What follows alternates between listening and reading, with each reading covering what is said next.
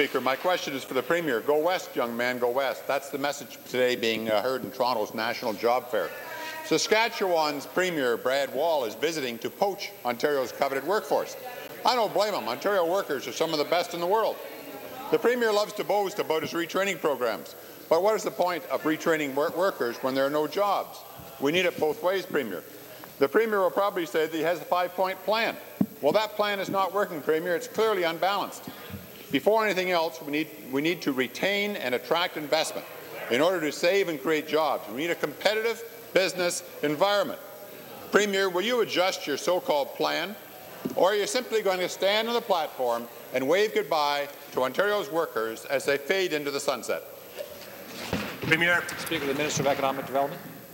Uh, sir. Thank you, Mr. Speaker. Well, on the contrary, uh, it is in fact the case that on, it is Ontario uh, that the government is coming to of Saskatchewan to try and attract jobs, and that is thanks to uh, the investments and interventions uh, and the climate that has been created uh, by the government uh, through its investments in education and post-secondary education uh, and skills and with respect to advanced manufacturing and with respect to second-generation jobs.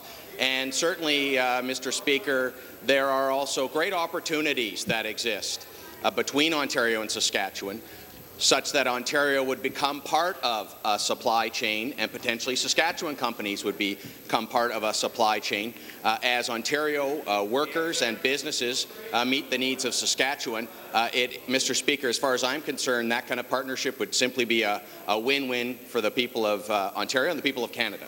Supplementary. I've never thought of Ontario being a supply chain for employment for Saskatchewan.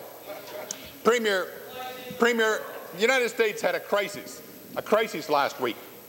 And that crisis in, in, in their financial markets, they knuckled down, they worked the entire weekend, and they came up with a solution.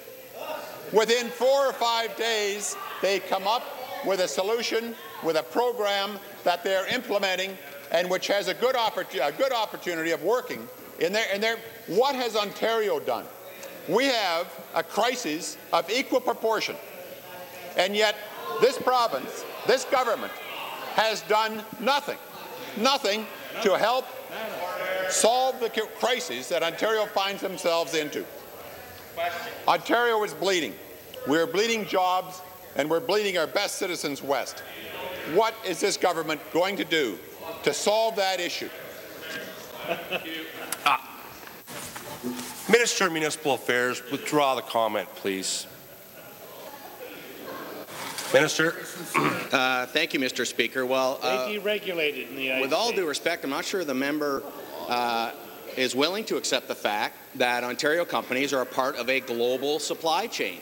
Uh, and surely the member would not want us to uh, reach out internationally to be a part of this supply chain through uh, high knowledge, Uh, high quality uh, manufacture and services jobs internationally, and not also reach out nationally. I hope he's not hoping for a recession. I, I know that Minister Pupatello, the Minister of International Trade, will be doing that work internationally. And just as we will build on the success of our agreement with Alberta, we want to, in fact, create even more linkages between Saskatchewan businesses and Ontario businesses because that will mean more Ontario jobs, more Ontario products, and more Ontario prosperity. And Mr. Speaker, if that party is against that, that's fine, but that's, this government is in favour of that.